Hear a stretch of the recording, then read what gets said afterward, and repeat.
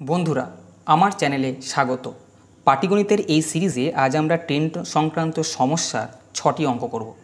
অঙ্কগুলো থেকে বিভিন্ন পরীক্ষা যেমন পিএসসি এসএসসি রেল, ব্যাংক সব পরীক্ষাতেই সমানভাবে উপকার পাবে আশা রাখি। বিশেষ করে যারা পিএসসি ক্লার্কশিপ এবং রেলের এনটিপিসি গ্রুপ ডি পরীক্ষা দেবে, তারা অবশ্যই অঙ্কগুলো দেখো। চলো আজকের সেশন শুরু করা যাক। আজকের প্রথম প্রশ্ন, এ ট্রেন চারশো পঞ্চাশ কিমি দূরত্ব যেতে বি এর তুলনায় পঁয়তাল্লিশ মিনিট বেশি সময় নেয়। ইঞ্জিনের সমস্যার দরুন বি ট্রেনের বেগ এক চতুর্থাংশ কমে যায় এবং ওই দূরত্ব যেতে এখন বি ট্রেন এ ট্রেনের তুলনায় তিরিশ মিনিট বেশি সময় নেয়। এ ট্রেনের গতিবেগ নির্ণয় করো। দেখো কি বলেছে? এখানে চারশো পঞ্চাশ কিলোমিটার একটা নির্দিষ্ট দূরত্বের কথা বলা আছে। অঙ্কগুলো পড়তে পড়তে প্রথমেই দেখে নেবে যে কোন জিনিসটাকে ফিক্সড বলছে। কেন? আমি যদি অঙ্ক তোমরা দেখে থাকো, সবসময় এই প্রসেসটা বলি যে distance is equal to speed into time এক্ষেত্রে কোনটা ফিক্সড বলল সেটা একটু বোঝার চেষ্টা করো। এক্ষেত্রে চারশো পঞ্চাশ কিলোমিটার একটা নির্দিষ্ট দূরত্ব নিয়ে বলা হয়েছে, তার ডিস্টেন্সটা ফিক্সড যেটা ফিক্সড বলবে সেটাকে ওয়ান মনে করে নাও। তাহলে কী হবে? Speed is equal to one by time এটা বলতে বোঝায় যে ডিস্টেন্স যদি কনস্ট্যান্ট হয়, তাহলে স্পিডের রেশিও এবং টাইমের রেশিও পরস্পর ইনভার্স হবে। অর্থাৎ স্পিডের রেশিও যা হবে টাইমের রেশিও তার উল্টো হবে। বোঝা গেছে? অর্থাৎ এক্ষেত্রে আমরা কিন্তু এটাকে অ্যাপ্লাই করব, যেহেতু ডিস্টেন্স তাকে ফিক্সড বলে দিয়েছে। এবার দেখো এই মনে করো চারশো পঞ্চাশ কিলোমিটার যেতে হতো। এখান থেকে যদি বি মনে করো একটা নির্দিষ্ট সময় গিয়ে রওনা দিল, মনে করো বি এখানে পৌঁছে গেল। এবার এ এখান থেকে যখন রওনা দেবে বি এর যত সময় লাগবে এর তার তুলনায় পঁয়তাল্লিশ মিনিট বেশি সময় লাগবে বলা আছে।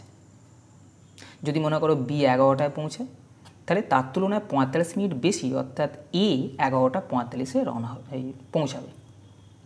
এবার কি বলছে যে বি টেনের বেগ এক চতুর্থাংশ কমে গেল, অর্থাৎ স্পিডটা কমে গেল। এবং এই দূরত্বটা যেতে এখন বি টেন এ তুলে টেনের তুলনায় তিরিশ মিনিট বেশি সময় নিচ্ছে। আগে দেখো এ টেন কত বেশি সময় নিচ্ছিল? পঁয়তাল্লিশ মিনিট বেশি সময় নিচ্ছিল।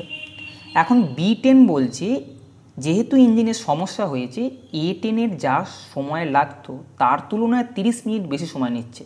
অর্থাৎ এ টেন এখানে যেতে পঁয়ত্রিশ মিনিট দেরিতে পৌঁছাতো। বি যে নর্মাল টাইমে পৌঁছাতো, তার তুলনায় পঁয়তাল্লিশ মিনিট দেরিতে পৌঁছাতো। এখন বি টেন এ যতটা সময়ে পৌঁছাতো, তার তুলনায় আরও তিরিশ মিনিট বেশি সময়ে পৌঁছাচ্ছে। অর্থাৎ এখন বি টেন পঁচাত্তর মিনিট পরে পৌঁছাচ্ছে বি নর্মাল যে সময়ে পৌঁছাতো, তার তুলনায়। বোঝা গেছে? তাহলে আমি বলতে পারি যে বি ট্রেন এখন পঁচাত্তর মিনিট বেশি সময় নিচ্ছে, যেটা নর্মাল সময় যেত তার তুলনায়। বোঝা গেছে? এবার দেখো, এখানে বি এর স্পিড ওয়ান ফোর্থ কমে গেছে, একের চার অংশ কমে গেছে। এটা মানে কি? একের চার কমে গেছে মানে কি? যদি চার স্পিড থাকতো, এখন এক কমে গেছে। অর্থাৎ যদি স্পিডের কথা বলি স্পিড আগে যদি চার থাকতো এখন এক কমে গিয়ে হয়েছে তিন। টাইম কি হবে? আমি বলেছি স্পিডের যা রেশিও হবে টাইমের রেশিও তার উল্টো হবে। স্পিডের রেশিও চার থেকে তিন হয়েছে, তাহলে টাইমের রেশিও তার উল্টো, তিন থেকে চার হবে। অর্থাৎ স্পিড যদি কমে যায়, তাহলে টাইমটা বেড়ে গেল। এটা ইনভার্স রেশিও বলা হয়। অর্থাৎ আগে নর্মাল টাইম যদি বিয়ের তিন ইউনিট লাগতো ইঞ্জিনের সমস্যার দরুন এখন তার সময় চার ইউনিট লাগছে, অর্থাৎ এক ইউনিট বেশি লাগছে। সময় এক ইউনিট বেশি লাগবে। কিন্তু আমি এখানে দেখতে পাচ্ছি যে বিয়ের সময় এখন পঁচাত্তর মিনিট লাগছে। এর যা সময় লাগতো, তার তুলনায় আরও তিরিশ মিনিট বেশি সময় লাগছে। অর্থাৎ পঁচাত্তর মিনিট সময় কিন্তু বেশি লাগছে। অর্থাৎ এক ইউনিটের মান পঁচাত্তর মিনিট তাহলে চার ইউনিটের মান কত? একশো মান পঁচাত্তর হলে চার সমান পঁচাত্তরকে চার দিয়ে গুণ করো, তিনশো মিনিট তিনশো মিনিট মানে কত? পাঁচ ঘণ্টা। অর্থাৎ বি ট্রেন এখন এই দূরত্বটা যেতে পাঁচ ঘণ্টা সময় নেয়। কিন্তু এখানে বলা আছে এখন বি টেন এ টেনের তুলনায় তিরিশ মিনিট বেশি সময় নেয়। অর্থাৎ বি টেন পাঁচ ঘণ্টা যদি সময় নেয়, তাহলে এ টেন তার থেকে তিরিশ মিনিট সময় কিন্তু কম নেবে। এই লাইনটার মানে তাই তো? এ টেনের তুলনায় তিরিশ মিনিট বেশি সময় নিচ্ছে। অর্থাৎ পাঁচ ঘন্টায় যখন যাচ্ছে, এর মধ্যে তিরিশ মিনিট বেশি সময় নিচ্ছে এ এর তুলনায়। তাহলে এর সময় লাগবে পাঁচ ঘণ্টা থেকে যদি তিরিশ মিনিট বাদ দাও তাহলে চার ঘণ্টা তিরিশ মিনিট। চার ঘণ্টা তিরিশ মিনিটটাকে যদি ঘন্টায় পরিণত করো, চার পূর্ণ তিরিশে ষাট আসবে, এটাকে কাটাকুটি করলে চার পূর্ণ একের দুই, অর্থাৎ চার দুগুণে নয়ের দুই নয়ের দুই মানে হচ্ছে ফোর পয়েন্ট ফাইভ আওয়ার্স অর্থাৎ এ টেনের এই চারশো পঞ্চাশ কিলোমিটার দূরত্ব যেতে চার দশমিক পাঁচ ঘণ্টা সময় লাগতো। চারশো পঞ্চাশ কিলোমিটার দূরত্ব যেতে চার দশমিক পাঁচ ঘণ্টা যদি সময় লাগে, তাহলে স্পিডটা কত হবে? স্পিড মানে হচ্ছে ডিস্টেন্সকে টাইম দিয়ে ভাগ। তাহলে চারশো পঞ্চাশ kilometre ডিস্টেন্সকে time four point five hours দিয়ে যদি ভাগ করি, দশমিক তুলে দাও, এটা কাটাকুটি করলে একশো আসবে। অর্থাৎ কিনা এ টেনের স্পিড হচ্ছে একশো কিলোমিটার পার আওয়ার যেটা অপশান নাম্বার একেতে আছে। বোঝা গেছে? তাহলে এই অঙ্কটার মধ্যে শুধু একটা জায়গাতেই একটু সমস্যা মনে হতে পারে, যে এই পঁয়তাল্লিশের সঙ্গে তিরিশ কেন যোগ হলো? তার কারণ হচ্ছে বি মনে করো একটা নর্মাল টাইমে পৌঁছাতো, তার তুলনায় এ পঁচাত্তর মিনিট বেশিতে পৌঁছাচ্ছে। মনে করো বি এগারোটার সময় পৌঁছাচ্ছে। তাহলে এ এগারোটা পঁয়তাল্লিশে পৌঁছাবে। এখন ইঞ্জিনের সমস্যা দরুন এর তুলনায় আরও তিরিশ মিনিট বেশি সময় নিচ্ছে বি অর্থাৎ বি কত নেবে? এর সঙ্গে আরও তিরিশ মিনিট যোগ করো, অর্থাৎ বারোটা পনেরো। তাহলে দেখো এগারোটা থেকে বারোটা পনেরো কতক্ষণ হচ্ছে? পঁচাত্তর মিনিট, সেটাই আমি এখানে লিখেছি। বোঝা গেছে? পরের প্রশ্ন। দু নম্বর প্রশ্ন দেখো। পিও কিউ স্টেশন থেকে দুটি ট্রেন একে অপরের দিকে যথাক্রমে পঞ্চাশ কিমি পার ঘণ্টা ও পঁচাত্তর কিমি পার ঘণ্টা গতিবেগে রওনা দিল। তারা যখন মিলিত হলো, দেখা গেল দ্বিতীয় ট্রেন প্রথম ট্রেনের তুলনায় চল্লিশ কিমি বেশি দূরত্ব অতিক্রম করেছে। পি ও কিউ স্টেশন দুটির মধ্যে দূরত্ব কত? এখানে দেখো আমি ডায়াগ্রাম করেছি। পি ও কিউ দুটো স্টেশন আছে, এদিক থেকে পঞ্চাশ কিলোমিটার পার আওয়ার গতিবেগে যাচ্ছে, এদিক থেকে চল্লিশ কিলোমিটার পার আওয়ার গতিবেগে যাচ্ছে। একই সময় মনে করো যাত্রা শুরু করল, মনে করো দু ঘণ্টা পরে বা তিন ঘণ্টা পরে, অর্থাৎ একটা নির্দিষ্ট সময় পরে এখানে তারা মিলিত হলো। আমি কেন এটা বললাম? আমি আগের অঙ্কটাকে বলেছিলাম যে কোনটা নির্দিষ্ট বা ফিক্স সেটা বুঝে নাও অঙ্কটা পড়তে পড়তে। তার কারণ আমরা সবসময় distance is equal to speed into time apply করব। যেহেতু এখানে একটা নির্দিষ্ট সময় পর তারা মিলিত হয়, তাহলে টাইমটা ফিক্সড যেটা ফিক্স সেটাকে ওয়ান মনে করে না তাহলে distance is equal to speed এটা বলতে বোঝায় ডিস্টেন্সের রেশিও যা হবে স্পিডের রেশিও তাই হবে। বোঝা গেছে? এবার দেখো, এখানে বলেছে পিও কিউ স্টেশন থেকে ট্রেন দুটো পঞ্চাশ কিমি পার ঘণ্টা ও পঁচাত্তর কিমি পার ঘণ্টা গতিবেগে রওনা দিল। অর্থাৎ স্পিডের রেশিও কিন্তু তুমি এখান থেকে পেয়ে যাচ্ছ। স্পিডের রেশিও কী হবে? স্পিডের রেশিও হবে একজনের পঞ্চাশ আছে আর একজনের পঁচাত্তর। অর্থাৎ স্পিডের রেশিও হচ্ছে পঁচিশ দিয়ে যদি কাতো পঁচিশ দুগুণে পঞ্চাশ, তিন পঁচিশ পঁচাত্তর। স্পিডের রেশিও যা হবে ডিস্টেন্সের রেশিও তাই হবে। অর্থাৎ ডিস্টেন্সের রেশিও আমি কি বলব? ডিস্টেন্সের রেশিও স্পিডের রেশিও মতোই দুই ইস টু তিন কিন্তু হবে। এটা বলতে বোঝায় প্রথম ট্রেন যদি দু কিলোমিটার ডিস্টেন্স বা দু ইউনিট ডিস্টেন্স অতিক্রম করে, তাহলে দ্বিতীয় ট্রেন তিন ইউনিট ডিস্টেন্স কিন্তু অতিক্রম করবে। কিন্তু এখানে বলে দিয়েছিল যে প্রথম ট্রেনের তুলনায় চল্লিশ কিমি বেশি দূরত্ব অতিক্রম করেছে দ্বিতীয় ট্রেনটা। আমি এখান থেকে দেখতে পাচ্ছি দ্বিতীয় ট্রেনটা প্রথম ট্রেনের তুলনায় এক ইউনিট বেশি ডিস্টেন্স অতিক্রম করেছে। কিন্তু প্রশ্ন বলছে এটা নাকি চল্লিশ কিলোমিটার বেশি অতিক্রম করেছে। তাহলে আমি বলতে পারি এক ইউনিটের মান হচ্ছে চল্লিশ কিলোমিটার। বলেছে পিও কিউ স্টেশন দুটোর মধ্যে দূরত্ব কত? দেখো, প্রথম ট্রেন আর দ্বিতীয় টেনের ডিস্টেন্সের রেশিও দুই টু তিন মানে কি? প্রথম ট্রেন এখান থেকে এই পর্যন্ত যদি দুই যায়, তাহলে দ্বিতীয় টেন এখান থেকে এই পর্যন্ত তিন গেছে। অর্থাৎ পি আর কিউ এর মধ্যে মোট ডিস্টেন্স হচ্ছে দুই প্লাস তিন সমান পাঁচ ইউনিট। এক ইউনিটের মান যদি চল্লিশ হয়, প্রশ্ন বলছে, তাহলে তুমি বলো পাঁচ ইউনিটের মান কত? একের মান চল্লিশ হলে পাঁচের মান চার পাঁচে কুড়ি, দুশো কিলোমিটার, যেটা অপশান নাম্বার দুইয়েতে আছে। বুঝে গেছে? টাইম অ্যান্ড ডিস্টেন্সের অঙ্ক করার সময় টাইম অ্যান্ড ডিস্টেন্স তোমরা যেটা বোঝো ট্রেন এবং বোট অ্যান্ড স্টিম এই জিনিসটাকে একটু খেয়াল রেখো যে কোনটাকে ফিক্সড করতে চাইছে। তাহলে এই দিয়েই তুমি ম্যাক্সিমাম অঙ্ক কিন্তু করতে পারে। অঙ্কটা পড়তে পড়তে তোমাকে বুঝতে হবে যে কোনটা ফিক্সড বলতে চাইছে। পরের প্রশ্ন। তিন নম্বর প্রশ্ন দেখো। এ ও বি দুটি ট্রেন একটি নির্দিষ্ট স্টেশন থেকে অপর একটি স্টেশনের উদ্দেশ্যে যথাক্রমে বাহাত্তর কিমি পার ঘণ্টা ও নব্বই কিমি পার ঘণ্টা বেগে রওনা দিল। যদি বি ট্রেন অপর স্টেশনে পৌঁছতে এ ট্রেনের তুলনায় এক ঘণ্টা সময় কম নেয়, তবে স্টেশন দুটির মধ্যে দূরত্ব কত কিমি? দেখো অঙ্কটা পড়তে পড়তে কী বুঝলে?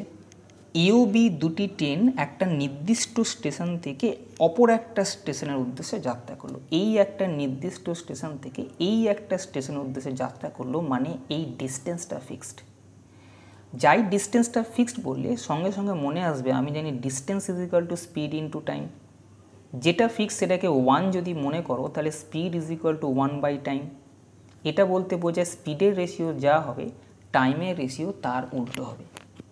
বুঝে গেছে? এবার দেখো, এইখানে বলেছে যে স্পিড হচ্ছে বাহাত্তর কিমি পার ঘণ্টা, নব্বই কিমি পার ঘণ্টা। দুটো ট্রেন এ ট্রেনের স্পিড হচ্ছে এ আর বি এদের স্পিডের কথা বলা আছে। এ ট্রেনের স্পিড হচ্ছে বাহাত্তর কিমি পার ঘণ্টা আর বি ট্রেনের স্পিড হচ্ছে নব্বই কিমি পার ঘণ্টা। একটা স্পিডের রেশিও এইটা স্পিডের রেশিও যা হবে টাইমের রেশিও তার উল্টো হবে। অর্থাৎ টাইমের রেশিও কী হলো? এর উল্টো অর্থাৎ নব্বই ইস্টু বাহাত্তর হয়ে গেল টাইমের রেশিও একটু যদি কাটাকুটি করো আঠেরো দিয়ে, এটা হবে পাঁচ, আঠেরো নব্বই, চার, আঠেরো বাহাত্তর। অর্থাৎ বিয়ের যদি চার ইউনিট সময় লাগে, তাহলে এর লাগবে পাঁচ ইউনিট সময়। কিন্তু এখানে বলেছে বি টেন এ টেনের তুলনায় এক ঘণ্টা সময় কম নেয়। আমি এখানে দেখছি বি চার ইউনিট নিলে এ পাঁচ ইউনিট নিচ্ছে, অর্থাৎ বি ট্রেন এ টেনের তুলনায় এক ইউনিট সময় কম নিচ্ছে। কিন্তু প্রশ্ন বলেছে এক ঘণ্টা সময় কম নিচ্ছে। তাহলে ওয়ান ইউনিট সমান এক ঘণ্টা যদি হয়, তাহলে চার ইউনিট মানে কত? চার ঘণ্টা আমি বলতে পারি। তাহলে বি টেনের যদি চার ঘণ্টা সময় নেয় বি টেনের স্পিড কত ছিল? নব্বই কিমি পার ঘণ্টা। তাহলে চার ঘন্টায় কত যাবে? নব্বইকে চার দিয়ে গুণ করলে তিনশো ষাট কিলোমিটার, যেটা অপশান নাম্বার দুইয়েতে আছে। তোমরা এও বার করতে পারতে, এক ইউনিটের মান যদি এক ঘণ্টা হয়, তাহলে পাঁচ ইউনিটের মান কত? পাঁচ ঘণ্টা। প্রতি ঘন্টায় বাহাত্তর কিমি পার ঘণ্টা প্রতি যদি যায়, তাহলে পাঁচ ঘন্টায় কত যাবে? বাহাত্তরকে পাঁচ দিয়ে গুণ করলে তিনশো ষাট আসবে। বোঝা গেছে? পরের প্রশ্ন। চার নম্বর প্রশ্ন দেখো। তিনশো মিটার লম্বা একটি ট্রেন কুয়াশার মধ্যে দিয়ে যাওয়ার সময় একই দিকে ছ কিমি পার ঘণ্টা গতিবেগে ভ্রমণরত এক ব্যক্তিকে অতিক্রম করল। ব্যক্তিটি ট্রেনটিকে তিন মিনিট পর্যন্ত দেখতে পান এবং যদি ব্যক্তির নিকট ট্রেনটি বারোশো মিটার পর্যন্ত দৃশ্যমান হয়, তবে ট্রেনের গতিবেগ নির্ণয় করো। কি বলেছে? মনে করো, এই হচ্ছে ব্যক্তি। ব্যক্তিটা এইদিকে যাচ্ছে। স্পিড হচ্ছে ছ কিমি পার ঘণ্টা। এবার ট্রেনও এই দিকেই যাচ্ছে। এই ডিরেকশানে ট্রেন যাচ্ছে। মনে করো এই ট্রেন ট্রেনটা ব্যক্তিটাকে ক্রস করল। যাচ্ছে ট্রেনটা মনে করো এই বারোশো মিটার পর, মনে করো এই একটা পয়েন্ট এইখান থেকে বারোশো মিটার পর্যন্ত ট্রেনটা ভিজিবল লোকটার কাছে। অর্থাৎ এই পর্যন্ত ঘন কুয়াশা তো, এই পর্যন্ত সে, অর্থাৎ লোকটা, অর্থাৎ বারোশো মিটার পর্যন্ত ট্রেনটাকে দেখতে পাচ্ছে। এবং তিন মিনিট পর্যন্ত সে দেখতে পাচ্ছে মানে তিন মিনিটে ট্রেনটা এইখান থেকে এই পর্যন্ত গেল, যেটা বারোশো মিটার দেখতে পাচ্ছে। কিন্তু অরিজিনালি ট্রেনটা কিরাম ছিল, মনে করো, ট্রেনটা এই যখন যাচ্ছে, বারোশো মিটার এইখানে গিয়ে শেষ হচ্ছে। অর্থাৎ এই পর্যন্ত পয়েন্টটা এইখান থেকে দেখা যাচ্ছে, সেটা হচ্ছে বারোশো মিটার। এবার ট্রেনটা এই তিন মিনিটে যতটা লোকটা দেখতে পাচ্ছে সেটা তো যাচ্ছেই। উল্টে ট্রেনের যে দৈর্ঘ্য সেটাও কিন্তু যাচ্ছে। তাই না? কেন লোকটা ট্রেনের এই পয়েন্টটা এন্ড পয়েন্টটা দেখতে পাচ্ছে। ট্রেনটা যখন অতিক্রম করেছে, তখন ট্রেনটা এইখান থেকে এই রাস্তাগুলো গেছেই। উল্টে ট্রেনের যে দৈর্ঘ্য আছে, মনে করো অ্যাডিশনালি আরও তিনশো মিটার, এই পর্যন্ত মনে করো ট্রেনের দৈর্ঘ্য, এটা কিন্তু সে দেখতে পাচ্ছে না। কেন সে বারোশো মিটার দেখতে পেয়েছে মানে এই পর্যন্ত দেখতে পেয়েছে? ট্রেনের ফন্ট সে দেখতে পাচ্ছে না। অর্থাৎ এন্ড থেকে ফন্ট পর্যন্ত যে ডিস্টেন্স তিনশো মিটার, সেটাও কিন্তু ট্রেন এই তিন মিনিটে গেছে, যে তিন মিনিট পর্যন্ত লোকটা ট্রেনটাকে দেখতে পাচ্ছে। অর্থাৎ এই তিন মিনিটে ট্রেনটা টোটাল বারোশো প্লাস তিনশো, পনেরোশো মিটার কিন্তু গেল। অর্থাৎ আমরা বলতে পারি ট্রেনটা তিন মিনিটে পনেরোশো মিটার গেল। তাহলে এক মিনিটে ট্রেনটা কতটা যাবে? পনেরোশো বাই তিন মিটার। হয়েছে? এটাকে যে সেকেন্ডে পরিণত করতে তিন মিনিট মানে কত? এক ষাট দিয়ে যদি তিনকে গুণ করো, একশো আশি সেকেন্ড হতো। অর্থাৎ মিটার পার সেকেন্ডে কনভার্ট হয়ে যেত। মিটার পার সেকেন্ডকে যদি আমি কিমি পার আওয়ারে কনভার্ট করি, তাহলে পনেরোশোকে একশো আশি যেরাম আছে, এটাকে আঠেরো পাঁচ দিয়ে গুণ করতে হতো। আঠেরো পাঁচ দিয়ে গুণ করলে এটা কিমি পার আওয়ারে কনভার্ট হতো। একটা শূন্য কেটে দাও, আঠেরো আঠেরো কাঠো এইটা হচ্ছে তিরিশ। অর্থাৎ এই যে স্পিডটা পাওয়া গেল, সেটা হচ্ছে তিরিশ কিমি পার আওয়ার। এই স্পিডটা কী স্পিড এই স্পিডটা হচ্ছে একই দিকে যদি দুটো অবজেক্ট যায় তাহলে রিলেটিভ স্পিড রিলেটিভ স্পিড হয় একটা অবজেক্টের স্পিড থেকে আর একটা অবজেক্টের স্পিড বাদ। এক্ষেত্রে যেহেতু টেনের স্পিডটা বেশি, মনে করো টেনের স্পিড হচ্ছে এক্স কিমি পার ঘণ্টা, এটাই চেয়েছে টেনের স্পিড তাহলে টেনের স্পিড থেকে লোকের স্পিডটা যদি বাদ দিই, এটাকেই বলা হবে রিলেটিভ স্পিড এটা হচ্ছে কিমি পার ঘণ্টা, লোকের স্পিড ছ কিমি পার ঘণ্টা ছিল এবং টেনের স্পিড এক্স কিমি পার ঘণ্টা। একই দিকে গেলে রিলেটিভ স্পিড হচ্ছে দুটো অবজেক্টের স্পিডকে বাদ দিতে।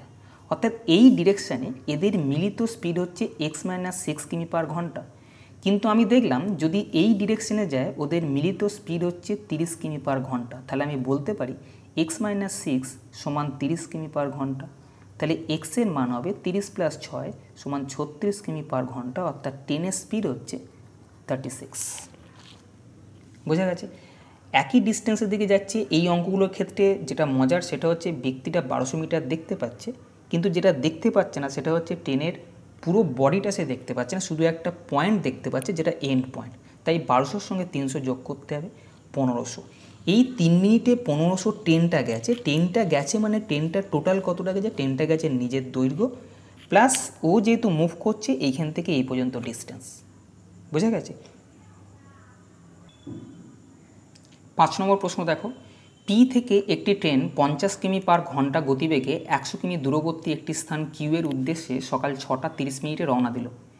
কিউ থেকে অপর একটি ট্রেন চল্লিশ কিমি পার ঘণ্টা গতিবেগে পি এর উদ্দেশ্যে সকাল সাতটার সময় রওনা দিল। সকাল সাতটা তিরিশ মিনিটে কিউয়ে থাকা এক ট্রাফিক কন্ট্রোলারের খেয়াল হলো যে ট্রেন দুটি একই লাইনে চলছে।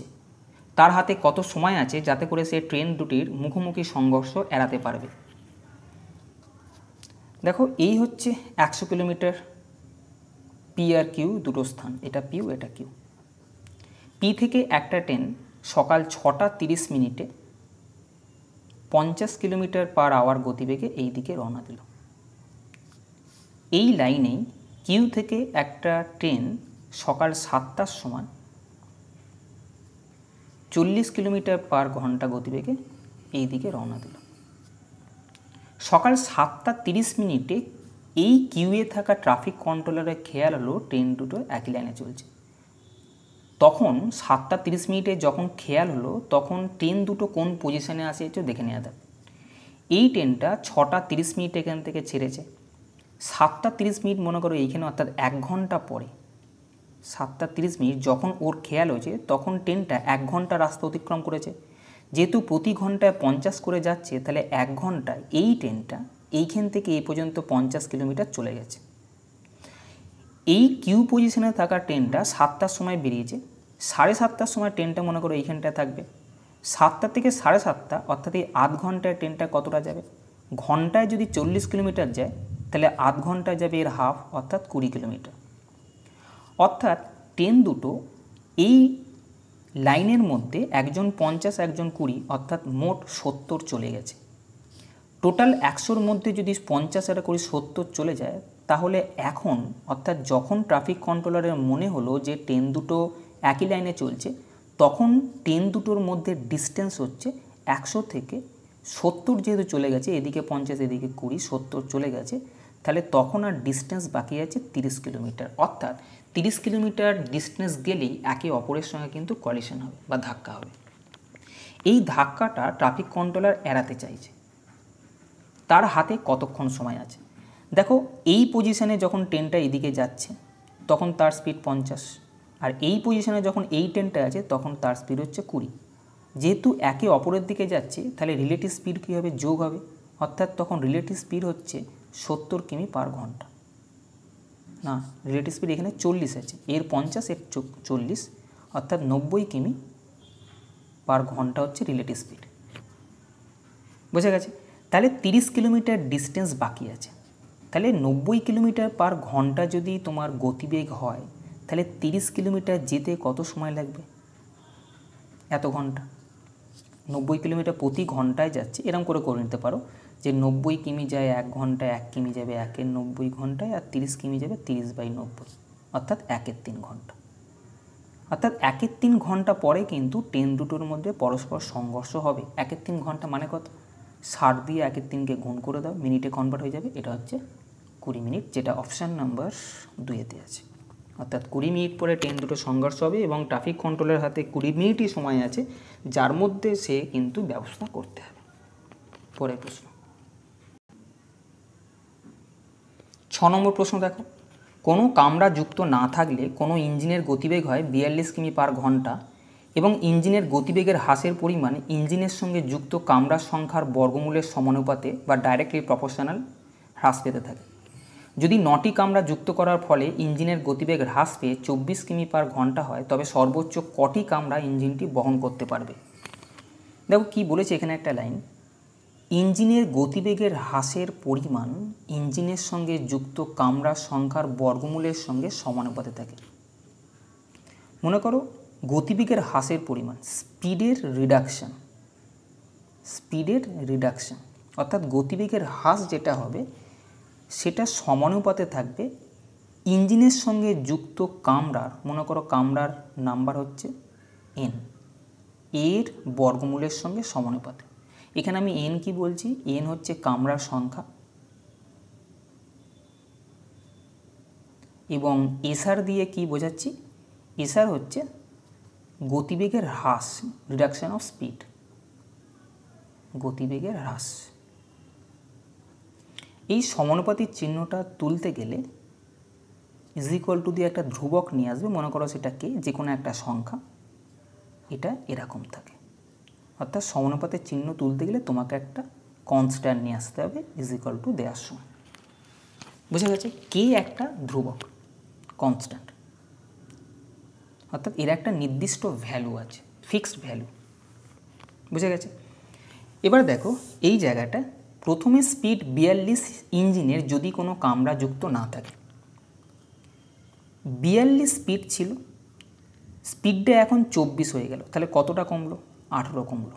অর্থাৎ স্পিড আঠেরো কমলো যদি নটা কামরা যুক্ত করা হয়। আমি যদি এই জায়গায় ভ্যালুটা বসাই এসআর মানে কি? গতিবেগের হ্রাস। আমি দেখছি গতিবেগের হ্রাস আঠেরো। কে জানি না। নটা কামড়া দিলে এন মানে কামড়ার সংখ্যা। তাহলে আমি এনের জায়গায় নয় বসাচ্ছি। রুট নাইন মানে কত? তিন। তিনকে আঠেরো দিয়ে কাটাকুটি করলে ছয় আসে, অর্থাৎ কে এর মান এখান থেকে বেরোচ্ছে ছয়। এখান থেকে কে এর মান বেরোবে ছয়। আমি বললাম যে নির্দিষ্ট একটা সংখ্যা, সেটা হচ্ছে কে এর মান ছয়, সবসময় কে এর মান ছয়ই বসাবো, যেখানেই বসে। এটা হচ্ছে ফিক্সড সংখ্যা। এবার কি বলেছিল? বলেছে যে সর্বোচ্চ কতগুলো কামরা ইঞ্জিনটা বহন করতে পারবে। দেখো, মনে করো এখানটায় যে এন কম্পার্টমেন্ট অর্থাৎ এনটা কামরা যদি দেয়া যায়, তখন স্পিড হবে এইটা। কি হচ্ছে? অরিজিনালি তার স্পিড ছিল বিয়াল্লিশ। স্পিডটা যাই কামরা অ্যাড করবে, স্পিডটা কমবে। তাই বলেছে যে কামরা যদি অ্যাড করা হয়, স্পিডটা কমতে থাকে। কতটা কমবে?